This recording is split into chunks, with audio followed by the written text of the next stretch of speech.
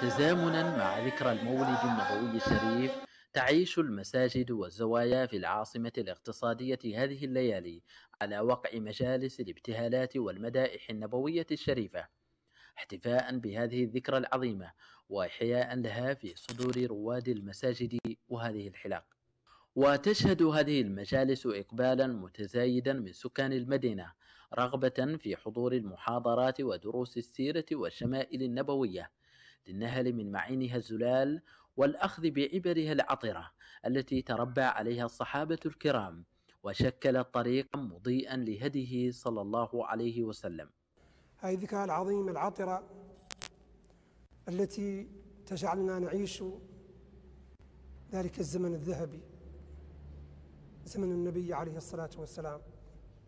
كلما جاءت هذه الذكرى نتذكر هذه تلك الأيام ذلك الزمن المبارك. قال تعالى وذكرهم بأيام الله. وأعظم النعم نعمة الحبيب المصطفى صلى الله عليه وسلم.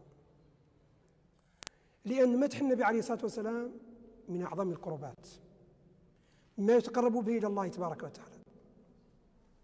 وكذلك نتحدث عن شمائله ونتحدث عن أخلاقه عليه الصلاة والسلام. ينبغي أن نربي أنفسنا أولا وأولادنا ومجتمعنا على أخلاق النبي عليه الصلاة والسلام. كيف يكون ذلك؟ لا يكون ذلك إلا بتعلم أخلاقه لأنه لا يمكن أن نسير على أخلاقه ونحن نجهلها. وهذه الدروس الحمد لله استفاد من الكثيرون. ودأب القائمون على هذه المجالس على تنظيمها كل ليلة طيلة شهر المولد النبوي الشريف يتم خلالها تدارس السيرة النبوية وتقديم المدائح والابتهالات. ونحن في خضم احتفالات ذكرى ميلاده صلى الله عليه وسلم في هذا الشهر المبارك شهر ربيع الأول شهر ميلاد المصطفى صلى الله عليه وسلم.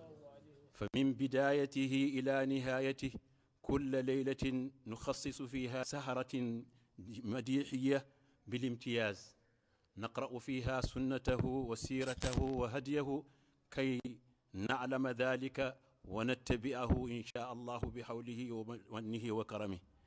نحن بدورنا ننقل هذه السيرة وهذه الخطى إلى من يلوننا إن شاء الله في المستقبل. مناسبة تنصهر فيها مختلف التوجهات ينظمها طريق واحد هو حب النبي صلى الله عليه وسلم والتمسك بسيرته الكريمة وابتهاجا وإحياء لذكرى مولده في قلوب المسلمين. محمد لمين هذه قناة الموريتانية مدينة وديبو.